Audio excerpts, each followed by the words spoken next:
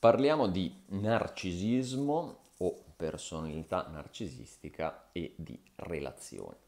Come eh, sapete, se mi seguite, eh, io non sono un particolare amante di, di questo termine, eh, non perché non riconosca eh, l'aspetto, la componente, la veridicità appunto della diagnosi narcisistica, assolutamente è, è appunto una delle categorie diagnostiche, uno dei disturbi di personalità come ho già ampiamente detto. Il problema è che lato mio mh, è, è eccessivamente utilizzato, mh, c'è una mala informazione a riguardo, è mh, sostanzialmente mh, un modo, secondo me anche abbastanza eh, ingenuo, di andare a semplificare eh, etichettando con eh, una macro categoria di comportamenti alcuni tratti, alcuni comportamenti appunto che ognuno di noi può avere all'interno della relazione sentimentale, amicale o nei comportamenti di vita quotidiani.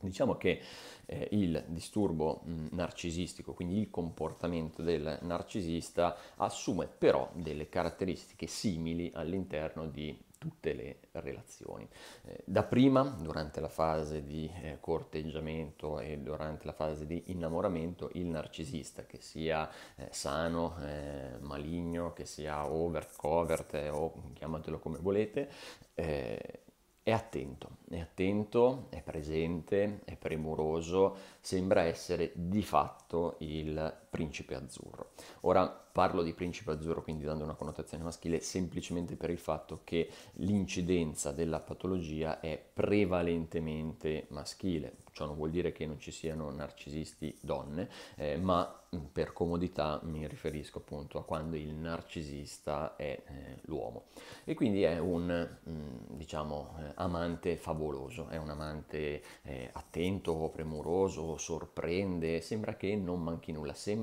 troppo bello per essere vero. E di fatto è così, nel senso che eh, mano a mano che poi eh, tesse la sua tela e cattura la preda, se così vogliamo dire, eh, all'interno mh, di tutte queste eh, attenzioni e premure, inizia a diventare arcigno, rivendicatorio, pretenzioso, tiranno, nel senso che eh, inizia a fare delle richieste che sono assurde, lavora sul senso di colpa del partner, inizia a perdere un qualunque tipo di empatia nei suoi confronti, eh, lasciando trasparire appunto il suo intento manipolatorio. Ricordiamoci che il narcisista eh, ha questo grandissimo sentimento di grandiosità, di successo, ha un bisogno di ammirazione per il quale eh, pur di ottenerlo è disposto a tutto, è disposto anche a sacrificare il proprio partner e di fatto così succede? Le richieste aumentano, le pretese aumentano, le mortificazioni aumentano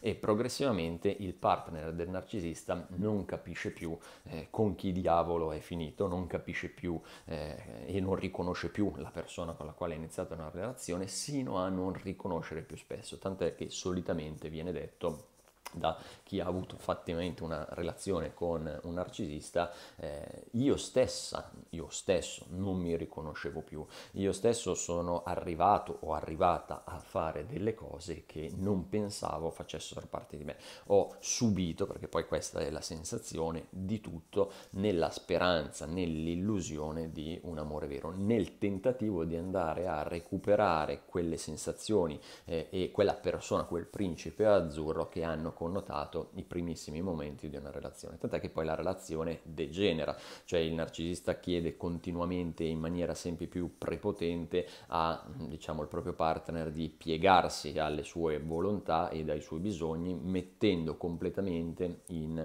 eh, secondo piano o dimenticandosene proprio i sentimenti, i bisogni e le richieste appunto dell'altra persona. Ora arriviamo alle notizie negative, non tanto in termini termini di conseguenza che avere una relazione con un narcisista eh, può mm, generare, questo ovviamente eh, andremo magari ad affrontarlo in altri video, quanto al fatto che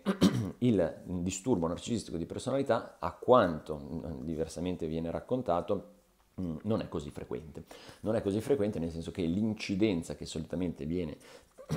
scusate, individuata eh, per il disturbo narcisistico è di circa l'1%, vuol dire che circa una persona per, su 100, circa eh, quindi con una prevalenza principalmente nel genere maschile piuttosto che in quello femminile, è eh, un narcisista. Questo che cosa vuol dire? Che non tutte le persone che hanno delle caratteristiche, ad esempio eh, egoiste, presuntuose, pretenziose eh, o che sono manipolatori, possono essere ascritte all'interno del grande calderone del narcisismo e non tutte le relazioni, a differenza di quanto sia invece più comodo pensare, di fatto hanno a che fare con un narcisista. Questo perché lo dico? Perché in rete si trovano tantissime eh, guide, tantissime istruzioni, tantissimi consigli su come riconoscere il narcisista, su come eh, sopravvivere ad una relazione con un narcisista, su come avere una relazione con un narcisista. Magari qualcuno si spinge anche di più su come diventare un narcisista all'interno di una relazione,